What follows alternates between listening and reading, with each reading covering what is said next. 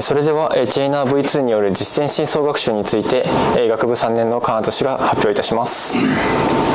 はじめにこのスライドはこのオウム社から出版されているチェイナー V2 による実践真相学習に沿って説明いたします。では、チェイナーについて説明をいたします。チェイナーとはディープラーニングのフレームワークの一つです。MIT ライセンスに基づくフリーウェアとして公開されているため、誰でも使用することが可能です。推奨プラットフォームとしては Ubuntu や CentOS での使用が推奨されております。このチェイナーの特徴といたしましては、Python のライブラリとして提供されていて、Python のプログラムと組み合わせて使用することが可能です。また、あらゆるニューラルネットの構造に柔軟に対応しているため、例えばば自然言語処理で、えーと、ワード2ベクタというような、え、ニューラルネットの構造を使用すると思う使用すると、えー、使用するのが便利なのですが、え、そういうものにも対応しております、えまた GPU をサポートしていて、え複数の GPU を使った学習も直感的に記述が可能なので、え GPU の力を使用して、え高速に学習をしたい場合は、え簡単に直感的にそのコードを記述することが可能という特徴を持っております。続いて NumPy について説明をいたします。これは Python のパッケージで配列を効率的に扱うためのデータ構造とその上での演算群を提供しています。これは深層学習を行うにあたって配列などの操作が必須でありそれを効率的に行うためのこのパッケージはを勉強することは必要不可欠であるのでここで説明をいたします、え使用する際にはえインポート NumPy というふうに記述することで使用できますここではコードの量を記述するためにこの NumPy を NP として、え NP として記述するために asNP とつけてインポート NumPy asNP としております。えーでは具体的なことについて説明をいたします。一次元配列を生成するには np.array で、えー、と配列の中の生成したい配列の要素をここに記述することで一次元配列を生成することができます。またレンジを使用することもできるので括弧の中にレンジで、えー、とここでは4ってすることで0からその3までの連番の要素を持った一次元配列を生成することが可能です。また二次元配列を生成したい場合はこちらのようにに、えー、行ごとに鍵括弧で区切って、えー、記述することで二次元配列を生成することが可能です。またこれ以外にも、えー、3次元以上の配列を生成することも可能です、えー、続いて、えー、先ほどまでは、えー、指定した値の、えー、要素を持った配列を生成していたのですが、えー、その他にも、えー、乱数を持った配列を生成することも可能です、えー、その際にはこの NP ランダム、えー、ランド N といったように、えー、記述し、えー必要な乱数の要素数をここで記入することで、えー、その要素数分の乱数を取得することができます。またここのランド n というところを変えることで、えーと、一応分布や正規分布などに、えー、のにのっとって乱数を生成することが可能となります。続いて単位行列の生成についてです。単位行列の生成にはアイデンティティというものを使います。このアイデンティティを指定して、えーと生成したい単位行列のサイズを指定することでこのようにここでは 5×5 のものを生成したいので5と記入して、え、実行することでこのような単位行列を取得することが可能です。えー、続いて、えー、配列の形を調べる方法について説明いたします、えー、もともと1次元配列あもと、えー、ここに示すように、えー、2×3 の配列を生成してあるとします。でその配列の、えー、サイズを調べるのにはドットシャープというものを使用しまして、えー、配列名ドットシャープとすることで、えー、配列の形を調べることができます。ここでは2行3列なので2と3というふうに、えー、値が返ってきます。またこの値をそれぞれ個別に取得したい場合はこちらのように行の行数をして代入したい変数コンマ列数を代入したい変数イコール a ドットシャープのように記述することでそれぞれ個別に値を取得することができます。また配列の全ての要素数を取得したい場合はドットサイズというふうにすることで要素数を取得することができます。こちらでは 2×3 の行列なので6という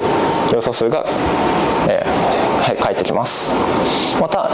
それ以外にも、えー、今度は、えー、配列の要素をシャッフルする方法があります。シャッフルするというものがあります、えー、配列の要素をシャッフルする方法では np.random.permutation というものを使用します、えー、このパーミュテーションに、えー、配列を指定することでその配列の要素をシャッフルすることができます、えー、こちらに示すような、えー、0から5までの、えー、円盤で振られている、えー、配列の要素を持つ、えー、この B という配列。こちらをシャッフルする場合は全ての数字がランダムにシャッフルされますが、えー、A のような二次元配列の場合は、えー、その行を一つのまとまりとしてシャッフルするため、えー、行の方で方向ではシャッフルされるのですが別方向ではシャッフルされるされることはありません。続いて配列に対する演算について説明をいたします、えー、まず、えー、配列と定数の指則演算について説明いたします、こちらのように配列と定数を指則演算した場合はすべ、ての配列のすべての要素にその、え演算が適用されます。例えばこちらのように a たす10とした場合 a が今0123の要素からなっているのでそれらにすべて10を足して10111213というような結果が返ってきます。また他の、ええ引き算や割り算などにも同様に、えー、同じように、えー、全ての要素に演算が適用されて値が返ってきます。また、えー、この他にも、え同じサイズの行列同士であれば指則演算が可能でその際には、え対応する要素の、演算が行われます。例えばこの A たす B の場合は、え、この0と4が足されて41と5が足されて62と6が足されて83と7が足されて10というようにそれぞれの要素がの加算が行われます、続いて、えー、積に積について、えー、説明いたします、えー、積を取る場合はドットというものを使います。で、えこのかける値が両方一次元配列だった場合このように一次元配列だった場合は、え内積の値が返ってきます。そして、えそれぞれが、え一次元配列でない場合こちらの C と D のような配列の場合は行列の掛け算の結果が返ってきます。このように積ではドットを使うことで積算の値を取得することができます。続いて、えー、天地行列についてです。天地行列を取得するには配列にドット .t とす、えー、して記述して、えー、使うことで天地行列を得ることができます。また、えー、行列式を求めるには、えー、np.linalg.determinant の DET を指定することで、えー、行列式を、得ることができます、えー、また行列式の答えを得ることができます。また逆行列は np.linalg.inverse の inv を使用指定することで逆行列を求めることができます。固有値固有ベクトルに関しては先ほどの、えー、行列のサイズを知るときに使ったように、えー、それぞれ固有値を代入したい変数固有ベクトルを代入したい変数イコール np.linalg.eig というふうに指定して、えー、配列を指定することによってそれぞれに固有値と固有ベクトルの値が代入されてこのように取得することができます。続いて配列の保存と読み出しについてです、え、こちらはえナムパイの機能というよりはピークルというパッケージを使ってやるので少し違うのですが便利なので、え、合わせて紹介いたします、え、使用する際はこのインポートピークルというふうに、え、パッケージをイン,、え、インポートし、え、ちらで、えー、配列をの保存先のファイルを開き pickle.dump というものを使用して、えー、配列の値を書き出します。この際、えー、Python2 までは、えー、書き出しモードで良かったのですが Python3 からはバイナリー書き書き出しモードのみの対応となっております。また配列の読み出しにもについても同様でインポート pickle というものを指定し、えー、バイナリー読み出しモードで、えー書き出したファイルを指定し pickle.load というものを使って配列を読み出します。そうするとこの書き出した値と同じような同じ値が取得できます。以上で NumPy につの、え、機能についての説明を終わります、え、続いてニューラルネットモデルについて説明をいたします、えーニューラルネットモデルとは、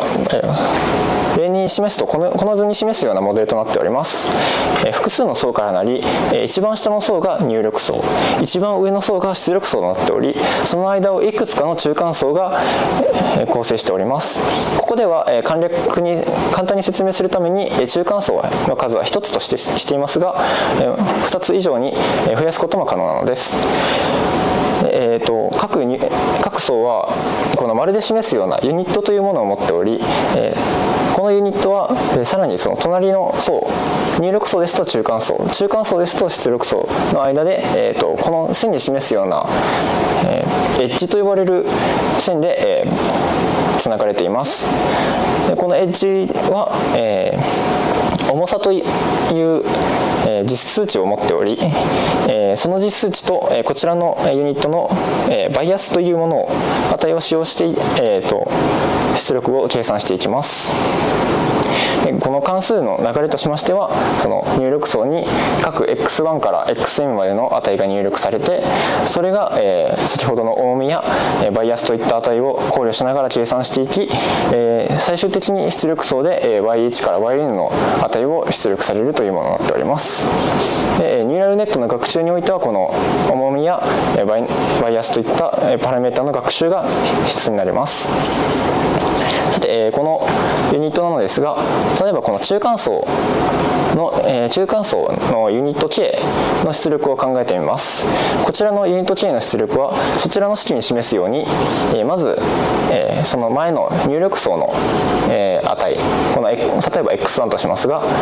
x1 の、えこの値と、えこの K とこの1をつなぐエッジの重みの、積。それと、各この2のエッジの重さとこの2の値、え M のエッジの重さと、え XM の値をかけてかけたものの、え相和を取ります。そしてその相和とこのバイアス分の、え値を加算したものをさらに、え活性化関数というものに入れて、え入れて、え計算したものが中間層 K の出力となりますでこの活性化関数のですが、えこちらの入力層から出力中間層の間と中間層から出力層の間で別々に関数を持つことができ古典的な手法としては入力層と中間層の間はあちらのシグモイド関数と呼ばれるものがよく使用されていて中間層から出力層では高等関数と呼ばれる関数がよく使用されています。えー、そしてこのように計算していき最終的に出力層の出力の、えー、式はこちらに示すように、えー、ここの、えー、シグマ1から、までが中間層の出力。そしてその中間層の出力をさらにその重みをかけてバイアス分を足して活性化関数に入れたものが出力層の出力となります。このように計算していきニューラルネットの出力を求めます。続いて確率的勾配効果法と、えー、誤差逆伝播法について説明をいたします、えー、ここちらは、えー、各先ほどの、えー、バイアスや重みといったデータ